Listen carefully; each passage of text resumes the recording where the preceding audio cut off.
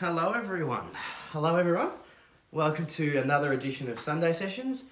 Wait for my phone to light up, wait for some more people to get in, and then we're gonna make some cocktails today. Let me just get my phone ready to go. Alrighty, we're live. Good to see everyone already. So today what we're gonna be doing is looking at the uh, the Federation Gin. So we'll wait for some couple more people to get in. And then yeah, today today's one I'm really excited for. I've got to work on a couple of the batches of this, so we're gonna make some classic cocktails, some G&Ts, nice and last week we were going to be experimental for the Easter edition. This week we're going back to the basics and keeping it nice and simple. So I think, yeah, good to see people in already. Good to see Sona. Good to see Dieter. Good to see Joseph. Good to see Mark. Good to see people already. So yeah, nice and uh, nice and relaxed today. We're going to be talking about our Federation Gin, which is the official gin of Parliament House. So it's a really cool little concept. And today we've got both our labels. We've got our distillery release, which is what the retail edition is, and then we've got the actual edition we use for Parliament. And I've been asked questions about where did this gin come from? Why is it the official gin of Parliament House? And what, yeah, what exactly, how did that become? And basically, Parliament House approached us about five years ago and said, can you make an Australian gin? And that's what we really wanted to do. So what we did is we went out and got one botanical from every state and territory. So I'm going to put this in the middle. So yeah, one botanical from every state and territory. What we do is we separately distill that. So each of those individual botanicals we put through the spirit, we put through the still, and that's a, a run compared to our classic dry gin where we distill everything together. So this one's really cool. You've got your Kakadu plum from the Northern Territory, your lemon myrtle, your cinnamon myrtle from Victoria, which I think for being a Melburnian, I quite like that one. It's a really nuanced flavour as well, the cinnamon myrtle. Then you've got your strawberry gum from New South Wales, which adds a beautiful little, sort of binds it all together because you get those beautiful strawberry notes, but then it also tones down the lemon myrtle and the cinnamon myrtle. You've got your mountain pepper leaf from South Australia, your cinnamon myrtle, your wattle seed, your quandong from out west, and I really like the uh, celery top pine from Tasmania. That one's a really cool one because celery top pine actually tastes like juniper when you distill it. So this one probably is the least junipery of all our gins, but then because we do add that celery top pine, you do get a little kick. But it's quite, I actually, I'm gonna get to one of our questions straight up because this sort of links into where I'm going. So Stephanie asked, is this a great gin to sort of approach as a beginner if you're not really into your gins? And I'd say yes. Because of all those botanicals, you're not getting that big juniper hit. So where the classic and the navy big juniper forward gins, this one's a bit more nuanced. And I think because you've got all those local botanicals in there, it creates a really tasty, enjoyable gin. So I think this is a great starter gin for people. It's a little bit boozier at 42.5%, but I don't think that really matters is when you're mixing it into drinks. So I really think this is a great gin to start off with. Before I keep talking too much, we're to start making some drinks. Today, first up, we're to make a G&T a Med and Fed, a Fed and Med. One of my, it's probably actually my personal favourite of our G&Ts. So basically nice and simple. You're gonna get your glass, get some ice. So yeah, I'll make this drink, then we'll get some questions. Feel free to ask anything along the way as always. And yeah, basically, nice and simple. Alrighty. One second, I've uh, forgotten my jigger, but no need to worry, I've got one right here. That's preparation. So basically, I'm only going to do a half pour today for this because we're making three drinks and I don't want to have to drink too many full-size drinks. So yeah, 15 mil of your McHenry Federation gin. Oh, it's just beautiful. You get the myrtles up first, but then once it opens up, once you put the tonic in there, you get those Quandong, your Kakadu plum. It's a really unique little gin. Today we're using the Mediterranean tonic from Fever Tree. Ooh, it's a bit more stubborn today. And basically, just pour it in. I love how these flavours work together. The Mediterranean is a bit of a sweeter gin, uh, sweeter tonic, sorry, and you get those beautiful flavours. And I think this one really works well together. For this one, rosemary as its garnish. A little bit of a smaller drink, but that's because I've made it to a half measure. So I'm gonna have a bit of a taste, have a bit of a, some tasting notes, and then we're gonna get into some of the two other classic drinks we're doing today, and I'll get to some comments too. Uh, it's just so refreshing. That's, oh. I, I think that was probably one of the first McHenry G&Ts I ever had, so it just uh, takes me back now, but it's lovely. It's really, really, it's just clean. Because all those natural botanicals, native botanicals are so fresh and floral and vibrant, and you add the Mediterranean tonic, it's just a bustling, bright gin. It's sort of, oh, I love it. It's beautiful. I'm to have another sip I, yeah, as you can see, I just really like this one. What I like though, is even though it's quite a fresh gin, you can still have it in winter.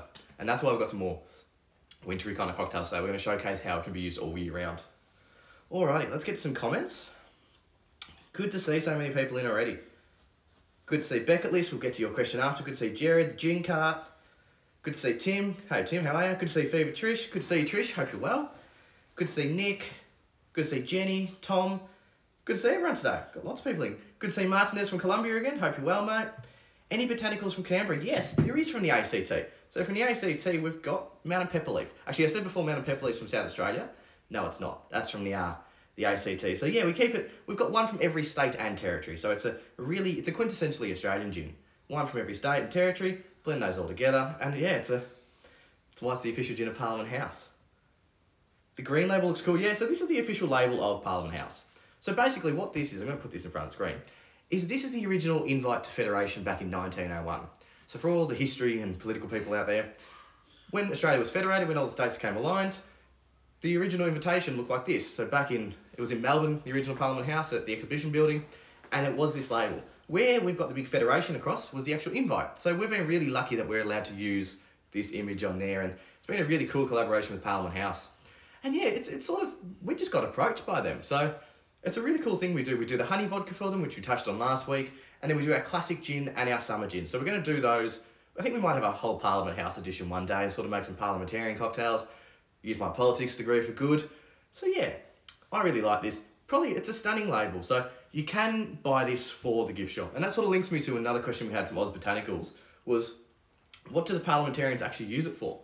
We, we, we say as a joke is that they just drink it, but the reality is it's used in the restaurants, the gift shop, and for diplomatic reasons. So it can be used for gifting. So yeah, we have lots of politicians who really like our gin, so we get Christmas cards, and that's really cool. So if you ever head down to the cellar door, you see got our little Parliament House shelf, and you get some uh, some Christmas cards from all the politicians. So yeah, all right, we've got some questions coming through. Fever Tree says delicious. Yeah, it's, it's I, well, I love the Mediterranean tonic. I think I was watching your live stream the other day, and you said that's the tonic that really got you into drinking tonics, and I think I have to agree. It's it's super approachable. I think that's what I sort of give people when they're first starting to drink G&Ts because it's so clean I just love it. Actually, yeah, I really do. Um, Stephanie says, can you put cucumber if you're not a fan of rosemary? Absolutely. I just like rosemary because I've got a rosemary bush in my backyard. So I'm sort of keeping to what I've got in the house. And that's why people probably think, oh, he's using the same garnishes. But I've got lots of dried fruits. So I'm just thinking, what do you have in your house? And experiment. Like try different things. Put whatever you like in there. Just explore how you like to garnish your gins. Personally, I don't I don't like a lot of garnishes in my gin. I just like to drink my gin but they look pretty and they do enhance the flavours. Like with the rosemary, you get those beautiful aromatics coming up. Alrighty. Like the, Sona says she likes the label too. Yeah, good to see Jops, Secret Garden Gin, Jackie, Chloe from Hellfire, Beckett List. Yeah, sounds Oz Botanical says it sounds delicious. Yeah, this is a it's a personal favourite, and I was really lucky. My first time I actually went down to the distillery for work, I actually got to do a couple of distillation runs. So I got to do the cinnamon myrtle, the Kakadu plum, and I got to the celery top pine. And it was amazing to see what those spirits are individually. So basically they're just distillates. So it's just flavoured spirit. Then we blend it all together and then we put the juniper in and that's where you get the gin from. So this was really cool. And I think I love that when we are doing the distillation runs, you're getting the gins at those high proofs, so 70, 80%, and you're getting all those flavours. I would love to do a version of this that sits at 75% alcohol, but it's probably not the most sensible decision. But it's a beautiful way to actually explore high proof spirits and see how tasty and not burny they can be. So not the best English, but yeah, they don't actually burn that much because you've got those beautiful aromatics coming through. Alright, you got lots of uh, lots of uh, comments today. Love rosemary and grapefruit. Yeah, grapefruit would work really well in this. To really, if I had some, I'd definitely put that in. What do you think is the ideal temperature of tonic? Martinez asks. Ooh, this is a good one. I might have to get Trish to help me out on this one. I like it out of the fridge, but at the same time, if you're adding ice in there, you can just put your tonic in. But I like to chill mine beforehand. A lot of the bars I go to, if you go to Gin Palace, they always have theirs in the fridge. So I think, yeah, try to chill your tonic when you're mixing it. But when you do chill a spirit, you're going to lose some of those flavours just a little bit. But that's just, it doesn't really matter. Once they, the water then opens it up, so you're sort of not losing a lot. So I'm going to have a bit more of a sip, and then I'm going to get on to our second cocktail. Yum. All right, I'm going to put my phone to the side. So today, we're going to make a bit of a spin on a Negroni. I don't have any Campari at home, and personally I prefer Aperol to Campari. So we're going to make a Contessa, which means Count. And the old story was the Count Negroni went into a bar and ordered that. But once we get to Navy Strength Foik, we're going to cover the actual history of the Negroni. So we're going to make some boozy cocktails, and I think that's going to be in two weeks' time. So I think next week we're going to do the butterfly gin. Then we're going to do the, uh, the navy strength. Then we're going to have vodka week. So vodka's going to be really cool to sort of make some interesting little cocktails. But yeah, before I ramble too much, let's go into our next drink. I'm just going to make this straight in the glass today. Normally you can make it in like a mixing glass and pour it in, but today we're going to keep it nice and simple for everyone. We're just going to make it in the glass. Normally you have like a nice big rock of ice, but I've just got the ones out of the freezer. It doesn't really matter that much. So yeah, this one, really simple. Aperol or Campari, or today's Aperol, a vermouth and gin. One part each, so 30, 30, 30. Nice and simple. So what we're going to do is we're going to start off with our gin. Get the jigger. So yeah, 30 mils, one ounce. And I think this, the reason I'm using this one today, is I think the Federation has those beautiful aromatics coming through. It's going to work really well with the vermouth and the Aperol. So today we're using Maidenii. Nice local little vermouth. I love vermouth. Vermouth and aromatized wine. This is just a classic. You can use a dry vermouth, you can use a sweet vermouth, but this is what I've got at home and support local as well. Brand new bottle and keep your vermouth in the fridge once you've finished it too. Just keeps it a bit fresher. Oh, that's lovely. See, last week we used Lillet. It's a bit different. This one's got more of those foresty, earthy botanicals. Put that back. And then 30 ml Aperol.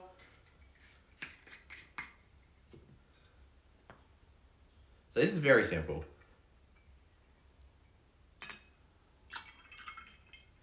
This is a lighter version of a Negroni. Because the Aperol isn't as bitter, you are going to get a lot less of those big notes coming through. But personally, I think I'm biased. I just really love Aperol, so I wanted to use it again today.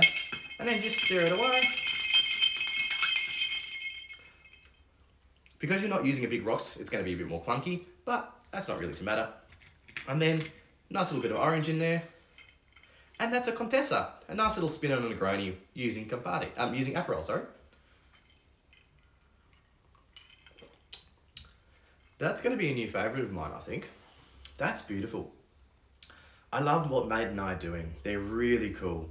I went to a really cool tasting last year at Gin Palace where they used Tiny Bear Distillery and they did a whole Negroni. It was a Negroni degustation menu, so it was Negronis paired with the Tiny Bear Distillery and then with food, and it was great. Izzy did a great job, and yeah, I, that's where I sort of actually started to love Negronis from there on, and I think we had a chocolate one, but this one is great. Just a nice little spin on it. The Aperol really makes it a bit more vibrant. Putting the orange in there too gives a bit more of those citrusy flavours. And I love the vermouth. You get like a creaminess coming through as well. Yeah, that's really cool. All right, we'll get to uh, some more comments. Good to see some people in. Got lots of people in today. This is really cool. Got Sam. Good to see Sam. Sam asks, better be an espresso on the list at some point. Yes, Sam. Sam's one of my friends. Um, we are going to do, oh, yeah, I think vodka week. We're going to do, we might have to make two espresso martinis then. I think we might have to, might have to send you some some samples and get your opinion. But we might do one with the honey vodka and one with the normal vodka and see how they compare. Good to see the Rennie Distilling, another great friends of ours down in Tassie. Sloe Gin, yes, Sloe Gin. You're one of our big fans of Sloe Gin Silver Mosh. It's a great little gin. So yeah, we'll, I think we'll touch on some Sloe Gin again. We'll do another Sloe Gin episode. Sandra says Contessa equals Countess. Yes, good point. You've corrected me in my Italian there. Good to see Gin Days, Whiskey Reviews. Ale t-shirts for sale. I doubt the distillery they are, but we are working on putting them on the website. So that's I'm working on that. So next couple of weeks we should have some t-shirts available. Good to see Gran and Grappa. Good to see you, mate. Yes, on Wednesday night we're doing a collab with Applewood Distillery. So I'm very excited for that. So that's going to be a really cool little discussion about South Australian and Tasmanian gins, and it's probably just going to be a nice little laugh. I'm really excited for that. It's going to be a good episode. I can see my bottle of Aperol disappearing. Yes, definitely. I think Aperol's a great drink. Whether you're having a spritz, whether you're having these kind of cocktails, it's really versatile. And I think you can, especially in this time where you can't go out and buy lots of different fancy ingredients, Aperol is great to just use in anything. All right, we're going to get on to our third little cocktail today, which is a gimlet. So I thought, with having such bright and native Australian botanicals in here, I thought let's let's sort of use a gimlet. And that's got the lime juice, got the sugar syrup. Basically, it was an old medicine. It's to cure scurvy. And I'm, I'm all about curing scurvy, even though it's not really a thing today. But I really love those old historical cocktails when the British Navy would use your gin, your rums, and yeah, like basically make either mojitos or gimlets. So yeah, this one's really basic. You're using sugar syrup, you're using lime and gin. Put that in your shaker and put it all together. So yeah, what we've done is we've chilled our cocktail glass. So just chuck that in the fridge or the freezer. And then what we're gonna do is we're gonna get our shaker and we're gonna build this up. Alrighty, so ice. Then what this calls for is 30 mil of lime juice. So I just prepared this. Fresh loose lime juice, you can actually use lime cordial. When I was doing my research for this, I thought, actually there was a bit of debate about whether to use lime juice or lime cordial, but I had lime juice at home, so that's what I'm gonna use. So chuck that into your shaker. Then we're gonna do 20, the recipe calls for 22.5 mil of sugar syrup. Just put in 20 mil. I think that's probably the easiest way to do it. So you sort of just measure that out. Once again, just using my own homemade sugar syrup, just put in your empty bottles. It's a great way to recycle. And sugar syrup, I'd choose a one-to-one -one recipe. And then, what this calls for is 60 ml of gin. So two shots.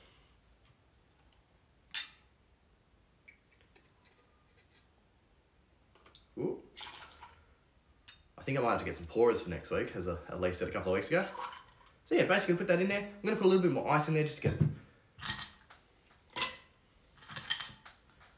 And then you shake it. Make sure it's all sealed so it doesn't come out. And yeah, just shake away. Get your glass ready. And what you want to do is just get your uh, cocktail shaker nice and frosty and that's when you sort of know it's ready. I'm going to double strain this one today just because I don't have the best strainer on this one. And yeah, this is a gimlet.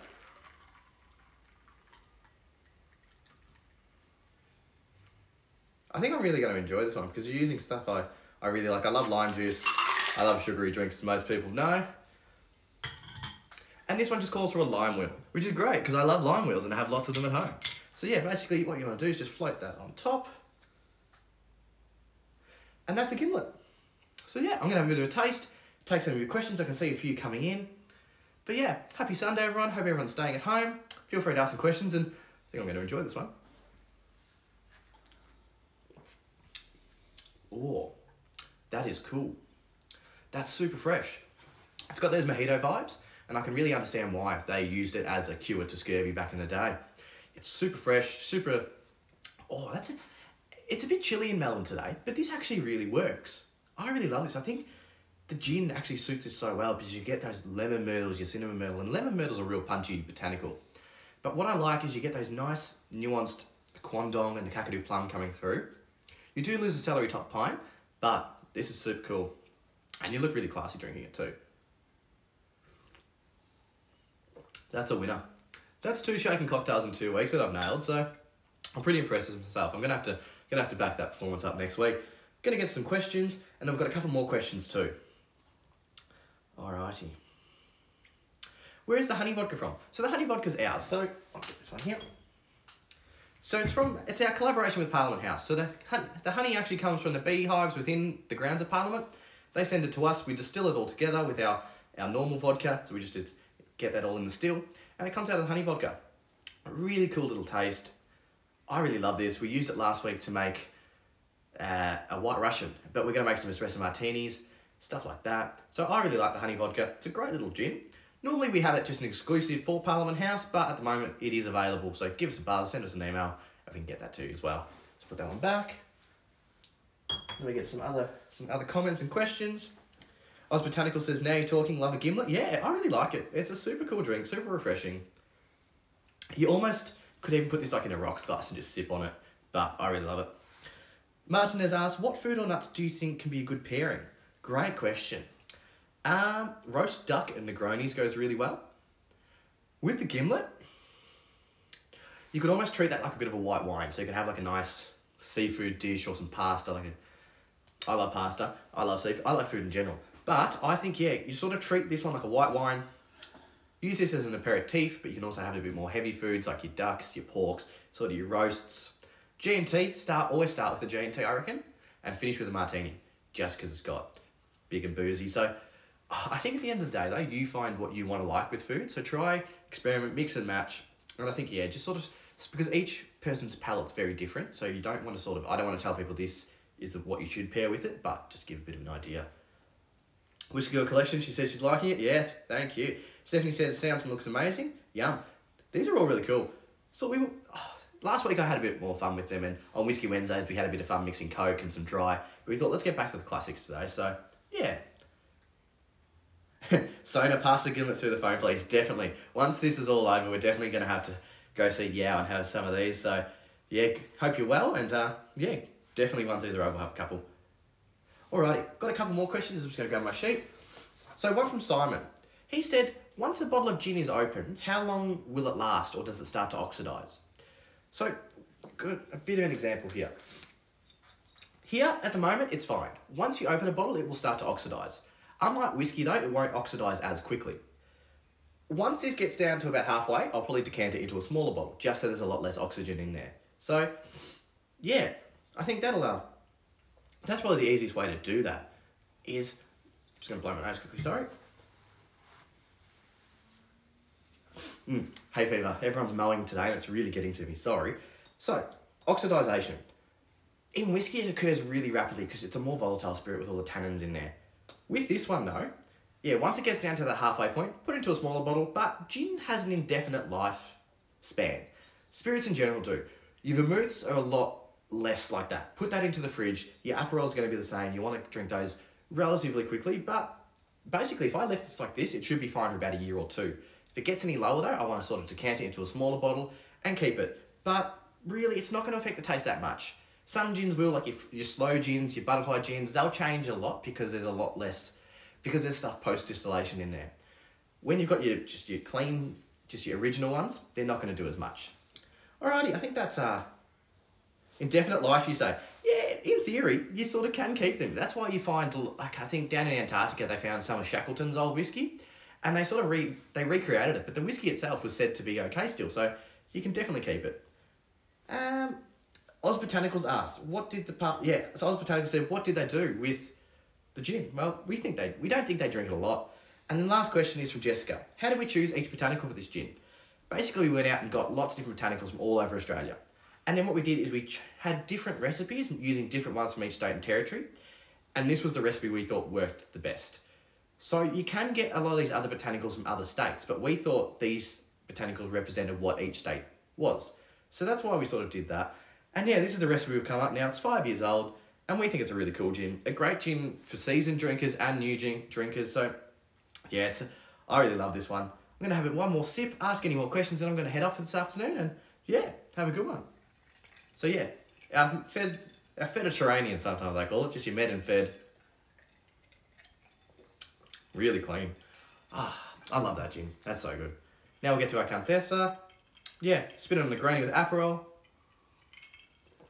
Oh, that vermouth is awesome. I'm really excited to make some martinis with that. They always impress me, mate. No, it's a great gin. Um, great vermouth, but any vermouth is going to work in this stage. I thought, let's just get some really cool stuff on there. Oh, this is awesome. It's just so limey and fresh.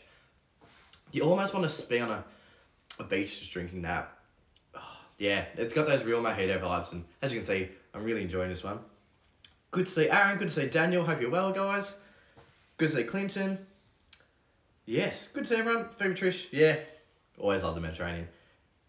Good, yeah, Aaron's in, good to see everyone. Jackie says hello too. I think that's going to wrap me up for this afternoon. Nice and nice and easy session today. Sort of just keep it nice and simple. We've got a busy week coming up on the live streams actually. On Tuesday night, we've got, actually, I'm being interviewed by the Scotch Malt Whisky Society. So, talking all things McHenry and how I got into this career. So, yeah, that's going to be really exciting. So, head over to the uh, SMWS Facebook page or Instagram. Wednesday night, we're doing our live collab with Applewood. So, that'll be on Applewood Distillery and us. That's going to be really cool. And we're going to push Whiskey Wednesdays to Thirsty Thursdays this week. And I think we're going to do another mixing episode. So, we, had some, we actually had a really great response to that. So, I think we're going to have to do some collabs on that. So, Gonna have to get some weird stuff and mix those with our whiskies and other whiskies and sort of just see, break down that the myth of not being able to mix single malt whiskey. So that's our plan for this week. We hope to see you at all our events and um, stay safe everyone, stay at home and try and make these lovely cocktails at home. I'm gonna go take this one and finish that. Have a good one guys. See ya.